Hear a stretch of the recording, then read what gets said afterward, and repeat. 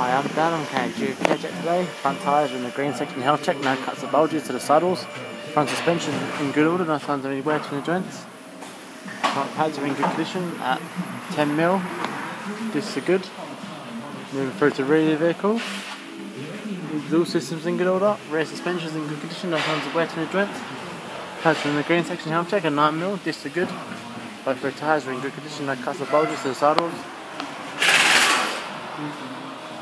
this concludes the check check. That was a content you shortly.